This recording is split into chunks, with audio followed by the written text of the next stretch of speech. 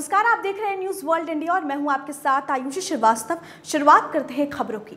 आगामी तीन मई से शुरू होने जा रही चार धाम यात्रा को लेकर जिला प्रशासन की तरफ़ से सभी तैयारियाँ पूरी कर ली गई हैं। बता दें, यात्रा की तैयारियों को लेकर चल रहे गतिमान कार्य भी आगामी तीस अप्रैल तक पूरे किए जाएँगे। इसके लिए जिलाधिकारी अभिषेक और गंगोत्री विधायक सुरेश चौहान द्वारा संयुक्त रूप से गंगोत्री राष्ट्रीय राजमार्ग और गंगोत्री धाम में चल रहे गतिमान कार्यो का स्थलीय निरीक्षण किया गया।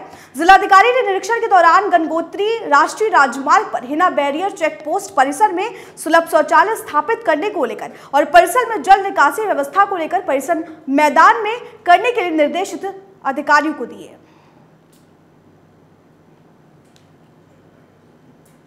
आज हमने यहाँ माँ गंगा के दर्शन किए हैं और यात्रा को मंगलमय बनाने के लिए प्रार्थना की है।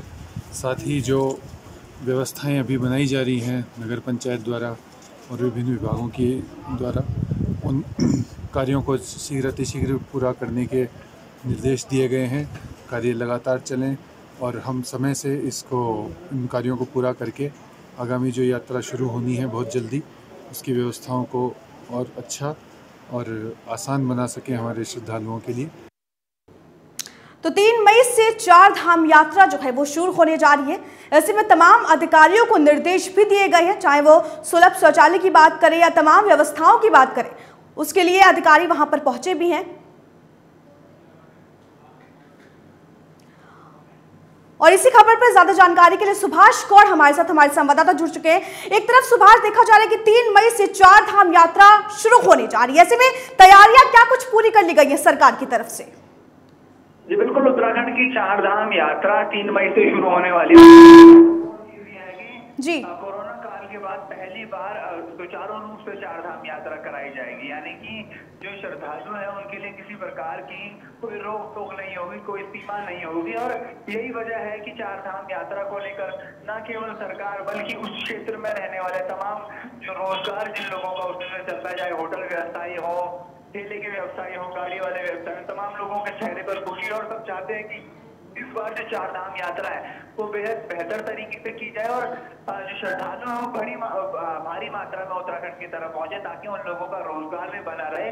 लेकिन एक बड़ा सवाल ये है कि सरकार की तरफ़ से जो तैयारियाँ हैं वो भी कर ली गई हैं। हालाँकि खुद मुख्यमंत्री पुष्कर सिंह धामी ने स्थलीय निरीक्षण भी किया है। वो धाम में पहुँच कर देख रहे हैं कि किस तरीके की व्यवस्थाएँ उन धामों में अभी तक प्रशासन के द्वारा की गई है। इसके साथ ही जो जिला प्रशासन है चाहे वो चमोली जनपद के जिला प्रशासन की बात कर ली जाए रुद्रप्रयाग की बात कर ली जाए या फिर उत्तरकाशी की बात कर ली जाए सभी को अलर्ट पर रहने के लिए कहा गया और सभी को कहा गया है कि वो श्रद्धालुओं की स्कैनिंग कराई जाए। साथ ही सबसे महत्वपूर्ण चीज़ ये है कि कौन व्यक्ति ऊपर जा रहा है उनका रजिस्ट्रेशन कराना भी अनिवार्य होगा। यानी कि तमाम जो तैयारियाँ होनी चाहिए थी सरकार और प्रशासन के स्तर से वो लगभग लगभग पूरी कर ली गई है और केवल इंतज़ार है कि अब यात्रा जो खुलती है, उसके बाद जो आगे स्थानीय लोग हैं, उनके चेहरे खिलते हुए भी नज़र आएँगे। जी। सुभाष, अधिकारियों को क्या कुछ निर्देश दिए गए हैं? क्योंकि चार धाम यात्रा शुरू होने जा रही है। ऐसे में सीएम धामी भी यहाँ पर पहुँचे थे, उन्होंने भी जायजा लिखा, लिया।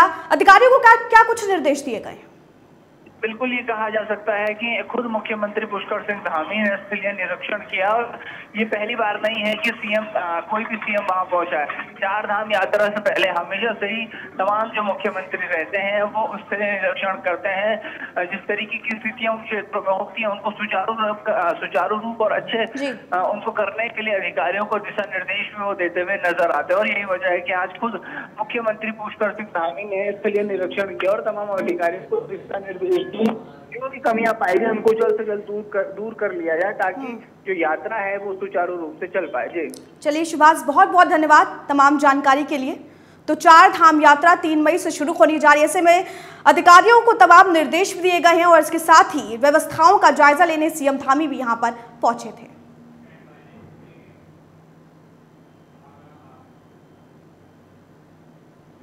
वहीं आगरा में फर्नीचर के गोदाम में भीषण आग लगी। बता दें, वही आग की लपटों से आसपास के इलाकों में हड़कंप मच गया। वही सूचना पर पहुँची दमकल की गाड़ियों ने आग पर काबू पाया।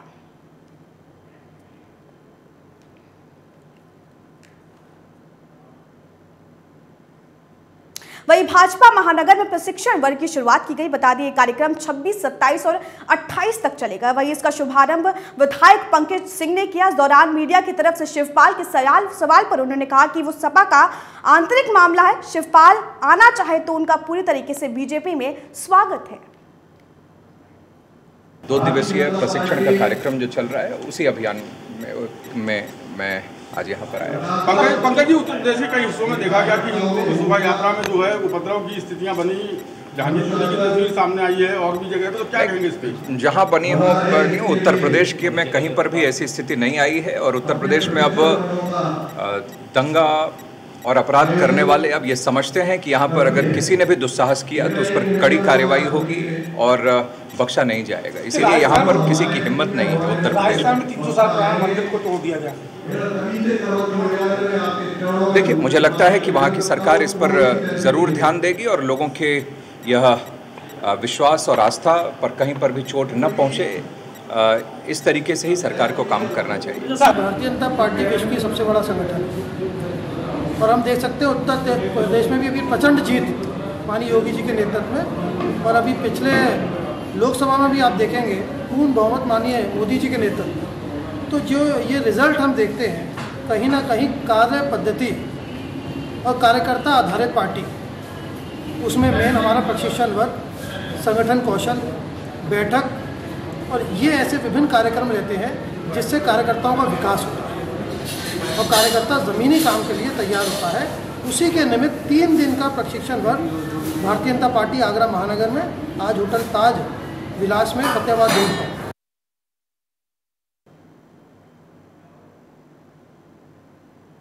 वहीं अलीगढ़ के कासिमपुर पावर हाउस की हालत खस्ताहाल होने पर आसपास के गाँव में बिजली की किल्लत हो गई है। बता दें, जानकारी के मुताबिक कासिमपुर पावर हाउस के पाँच किलोमीटर के दायरे में रहने वाले इलाकों में पिछले 24 घंटे से बिजली नहीं आ रही है। इससे तिलमिलाए इलाकों के लोगों ने बाज़ार बंद कर दिया है और पावर हाउस के सामने धरना प्रदर्शन कर रहे हैं। लोग चौबीस घंटे बिजली की मांग भी कर रहे हैं।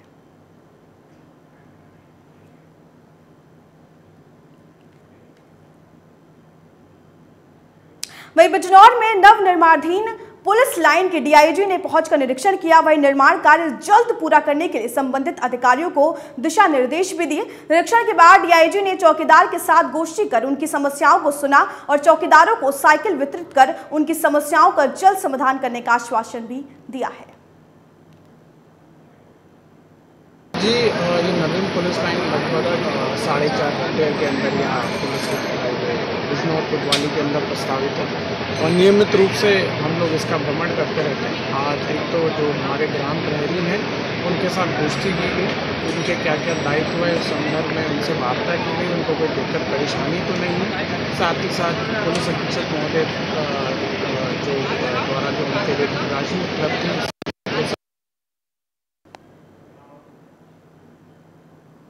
वहीं बुलंदशहर के नगर कोतवाल क्षेत्र में एक लकड़ी से भरे ट्रक के पलटने से भयंकर आग लग गई। वहीं आग लगने से आसपास की दुकान जलकर राख हो गई, जिसके बाद मौके पर पहुँची दमकल की गाड़ियों ने कड़ी मशक्कत के बाद आग पर काबू पाया।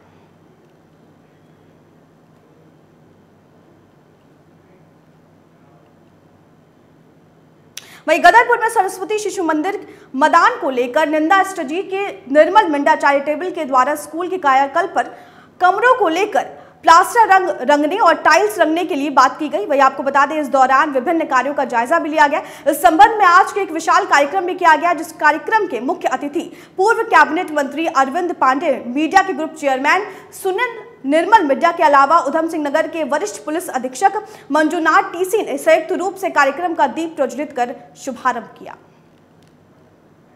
मैं मिड्डा ग्रुप को, मिंडा ग्रुप को और विशेष तौर पर जो इसकी चेयरपर्सन है, हमारी बहन सुमन मिंडा जी, जिन्होंने इस इलाके के लिए सीएसआर फंड के माध्यम से अद्वितीय काम किया है, ऐतिहासिक काम किया है। और हमने जो भी रिकमेंड किया, जो भी हमारी डिमांड थी, जो हमने सूची भेजी शत प्रतिशत उस सूची को सीएसआर फंड से विद्यालयों का जीर्णोद्वार किया है, चौमुखी विकास किया है। मैं यहाँ का विधायक होने के नाते मैं अपनी तरफ़ से, अपनी सरकार की तरफ़ से मैं मिंडा ग्रुप को बहुत बहुत धन्यवाद दूँगा। और आगे भी मैं इनको विश्वास दिलाता हूँ कि इनकी संस्था को हमारी सरकार की जहाँ आवश्यकता पड़ेगी, हम 24 घंटे इनके साथ खड़े हैं। मेरी माँ बीमार रहती थी तो मेरे को कभी भगवान याद नहीं आते थे। मेरा ये भाव होता था कि मैं किसी गरीब के बच्चे को पढ़ा दूँ, या हमारे यहाँ जो कर्मचारी होते थे, उनको, और उस समय पचास साल पहले पैसा भी बहुत कम होता था। फिर भी जो भी होता था, मैं उनसे मदद करती थी। फिर शादी के बाद मेरे फादर इन ने उन्नीस सौ जब सीएसआर आया भी नहीं था 2020 में बाल आश्रम खोला एक्चुअली ऑर्फेन हाउस जिसको हम लोग ऑर्फेन हाउस ना कह के बाल भवन कहते थे। वहाँ से चालू हुआ, फिर उन्होंने, उनके नेटिव प्लेस में उन्होंने स्कूल खोला, मंदिर बनाया स्किल सेंटर खोला। वहाँ से मैं और प्रेरित हुई। फिर मैं 2010 से एकदम डेडिकेटली इसमें काम कर रही हूँ और मेरे को रियल में जब मैं रात में सोती हूँ तो मैं महसूस करती हूँ कि मैंने आज बहुत अच्छा काम किया। वहीं हमीरपुर में दबंगों ने खुलेआम हवा में असलहा लहराया और पीड़ित परिवार को जान से मारने की धमकी दी। जानकारी के मुताबिक दबंगों ने गाँव में दहशत फैलाने के लिए हवा में फायरिंग की। वहीं अब ये वीडियो सोशल मीडिया पर वायरल हो रहा है।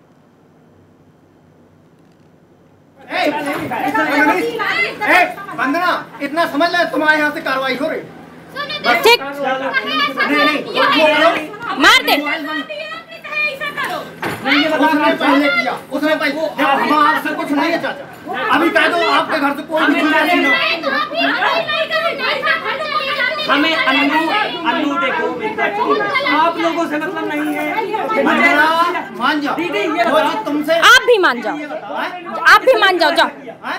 आप भी मान जाओ जाओ। देखो सुनो। वहीं कन्नौज में किसानों से जुड़ी योजनाओं की जानकारी के लिए कार्यक्रम हुआ। वही इस योजना में किसानों के साथ होने वाली दुर्घटना से कैसे बचे, इस बारे में किसानों को जानकारी दी गई। साथ ही मंडी सहायक विकास कुमार ने आए हुए किसानों को जागरूक किया।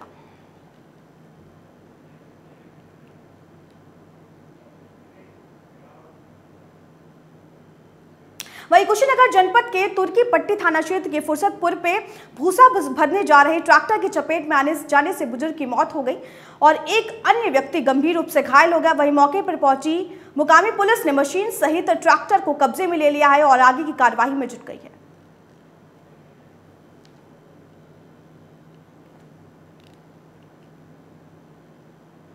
वहीं नैनीताल में स्तरीय वनागिन सुरक्षा की बैठक आयोजित की गई। बैठक की अध्यक्षता करते हुए मुख्य विकास अधिकारी ने कहा कि वनों में आग लगाने वालों की अब खैर आग लगाते पाए जाने पर जुर्माना के साथ ही एफआईआर दर्ज कराई जाएगी और आग लगाने वालों की सूचना देने वालों पर दस हज़ार का इनाम भी दिया जाएगा।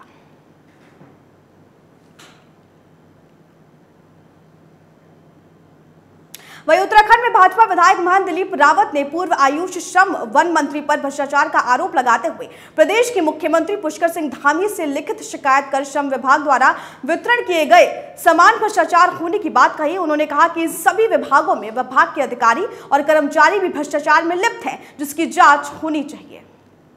हरत सिंह रावत जी के खिलाफ कोई जाँच की नहीं है। हमारा संस्थागत जो भ्रष्टाचार हुआ है उस विभाग में जो भ्रष्टाचार है उसके खिलाफ है, उसमें कोई भी जग में आ सकता है। उसमें अधिकारी भी आएँगे, तत्कालीन सरकार भी उसमें प्रश्न चिन्ह लगता है। इसलिए हमने कहा है कि लोग हमारे ऊपर प्रश्न चिन्ह न उठाए, इसलिए इस विभाग का जो है जाँच करें। इसलिए सारे विभागों की जाँच की जाए, ताकि चाहे वो श्रम विभाग हो, चाहे आयुष्मान हो, चाहे वन विभाग हो, इन सारे की जाँच की जाए। वहीं श्रीनगर विधानसभा के राज क्षेत्र के आने के अंतर्गत वाली सयोली में एक वाहन दुर्घटनाग्रस्त हो गई। वाहन में सवार पाँच लोगों की मौके पर मौत हो गई, जबकि एक घायल हो गया। वही सामुदायिक केंद्र में सभी को उपचार के लिए पहुँचाया जाए जहाँ पर उनका उपचार जारी है।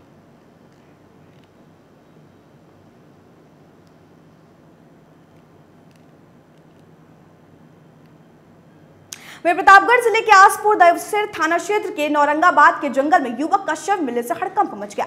बता दें, सोमवार को रात के वक्त परिवार के सभी लोग खाना खाने के बाद सो गए। जानकारी के मुताबिक शव देर रात नदी में तैरता हुआ मिला, जिसके बाद सुबह उसका शव मिलने से गाँव में हड़कंप मच गया। वही सूचना मिलने पर पुलिस ने शव को कब्जे में लेकर पोस्टमार्टम के लिए भेज दिया।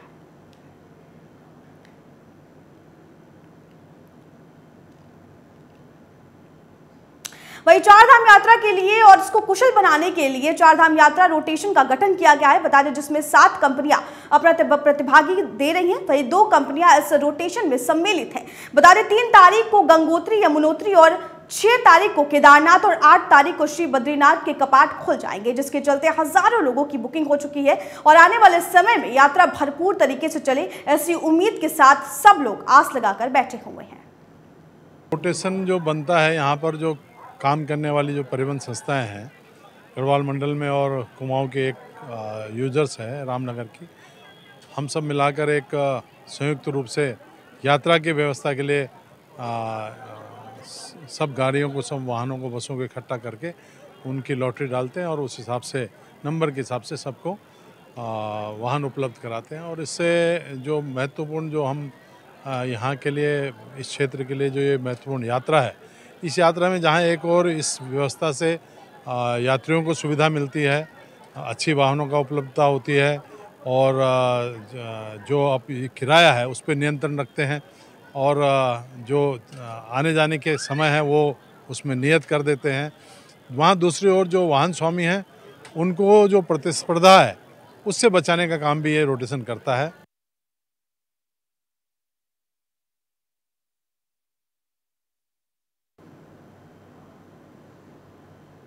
वहीं ऋषिकेश में ग्राहक बनकर ज्वेलर्स की दुकान पर पहुँची दो शातिर ठग महिलाओं को पुलिस ने रंगों हाथ गिरफ़्तार किया है। बता दें, फ़िलहाल आरोपित महिलाओं से पुलिस पूछताछ कर रही है। वहीं आपको बता दें कि ज्वेलर्स लिखित तहरीर देकर आरोपित के खिलाफ मुकदमा पंजीकृत करने के लिए कार्रवाई कर रही है। पुलिस से मिली जानकारी के मुताबिक दोनों महिलाएँ दो दिन पहले मुखर्जी मार्ग स्थित अग्रवाल ज्वेलर्स की दुकान पर ठगी की वारदात को अंजाम दे चुकी है।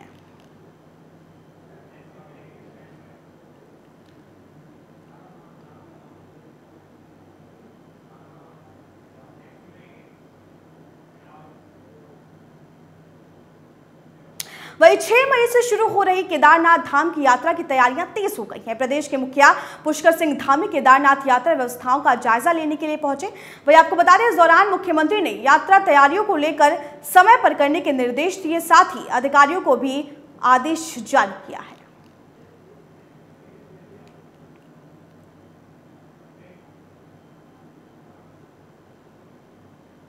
वहीं मुख्यमंत्री पुष्कर सिंह धामी केदारनाथ पुण्य मार्ग का जायजा लेने पहुँचे। इसके बाद वो कालीमठ मंदिर रुद्रप्रयाग पहुँचे, जहाँ पर उन्होंने पूजा अर्चना की और तैयारियों का जायजा लिया। वही इस दौरान जनता की भारी भीड़ वहाँ पर दिखाई दी।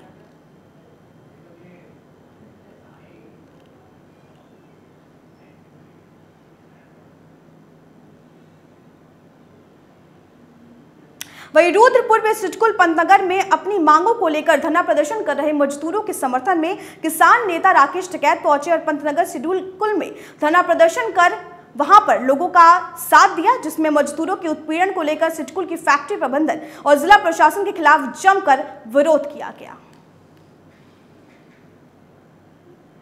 रूपरेखा तैयार होगी।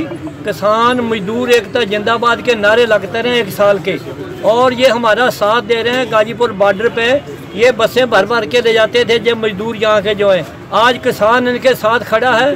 कंधे से कंधा मिला के हम चलेंगे। जो भी संघर्ष होगा, जो भी हमें करना पड़ेगा, करेंगे इनकी खातर। ये आठ महीने से भूखे पैसे यहाँ बैठे हुए हैं। इनकी किसी ने सोच नहीं ली। आज हम डीएम साहब के पास गए थे। उनको उनको ये अल्टीमेटम दे दिया है। अगर सात दिन के अंदर अंदर उनके साथ फैसला होता है, फैक्ट्री वालों के साथ तो तो ठीक है। नहीं तो हम वो कैसा भी आ रहेंगे ज़्यादा से ज़्यादा हम कदम उठाएँगे। पूरे हिंदुस्तान की जो किसान यूनियन यहाँ इकट्ठी हो जाएगी, उनके फैक्ट्री के गेट के आगे अगर फैसला नहीं होगा तो। वहीं पौड़ी ज़िले के सतपुली दुधारकाल सतकाल मोटर मार्ग पर तसीला के पास हादसा हो गया। बता दें, हादसे में एक चालक समेत तो उसमें सवार करीब 11 लोग घायल हो गए। वहीं दुर्घटना की सूचना पर मौके पर पहुँची पुलिस ने ग्रामीणों को वहाँ से जानकारी दी और ग्रामीणों ने घायलों को खाई से निकालकर अस्पताल पहुँचाया।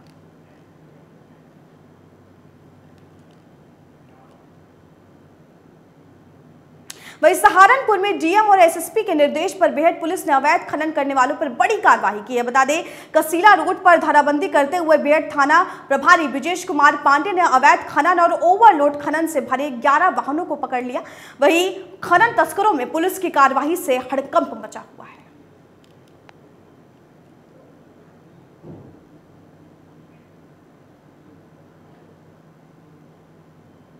तो चलिए खबरों में फ़िलहाल इतना ही, बाकी देश और दुनिया की तमाम बड़ी खबरों के लिए। आप देखते रहिए न्यूज़ वर्ल्ड इंडिया